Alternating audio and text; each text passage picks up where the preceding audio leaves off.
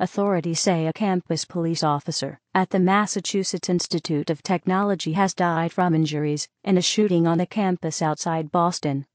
Cambridge Police and the Middlesex District Attorney's Office said the officer was responding to a report of a disturbance when he was shot multiple times.